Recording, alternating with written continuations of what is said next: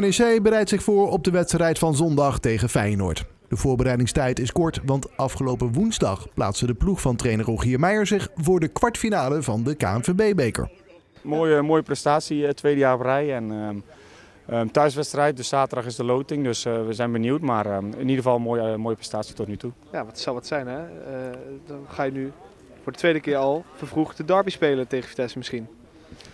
Ja, dat is als en koffiedik kijken. Dus ja, ik reageer er wel op als de loting er is. En van tevoren ja, kun je er toch niks over zeggen. Je hebt geen favoriet of zo? nee, nee, nee. Matthijs Brandenhorst bekeek de wedstrijd tegen Groningen vanaf de bank. Dat is niet omdat de doelman niet goed presteert. Brandenhorst hield dit seizoen al zeven keer de nul. Hij is lekker bezig. Ja, zeker. zeker. Ik moet zeggen dat uh, het zijn lekkere statistieken. Um, maar het is wel iets, uh, ja, daar ga ik me niet op focussen. Uh, ik focus me gewoon lekker op, uh, op, op mijn spel en ehm, de samenwerking met, met, met de verdediging. Want ja, het staat gewoon als een huis en ehm, ja, vaak wordt natuurlijk naar, naar, keepers gekeken op het moment dat het over clean sheets gaat.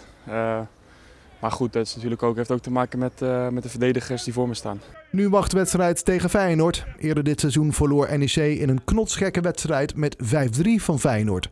Verwacht trainer Rogier Meijer net zoveel vuurwerk als toen?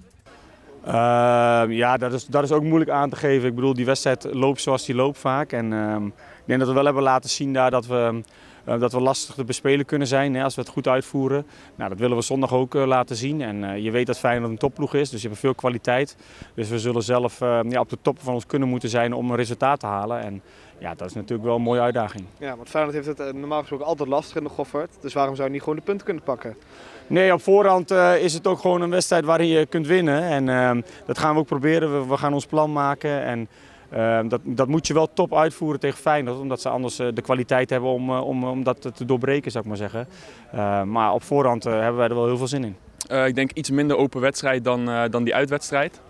Ja, als, als we gewoon verdedigen op de manier zoals we de laatste, laatste week hebben gedaan, dan, ja, dan zie ik voor ons een, een hele leuke wedstrijd en voor, voor Feyenoord een hele vervelende. Zondag om kwart over twaalf wordt er afgetrapt in de Goffert. Of alle spelers op tijd fit zijn, is nog maar de vraag.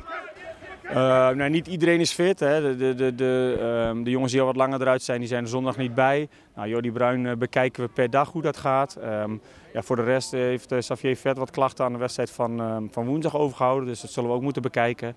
Ehm, dus ja, dat is een beetje het, het, of, het, het nieuws over de blessures. Alleen, we hebben nog een dag hierna. En dan is het pas zondag, dus we moeten even kijken. Het gaat regenen, we houden ermee op. Ja, heb je heel goed, dankjewel. dankjewel, dankjewel. dankjewel.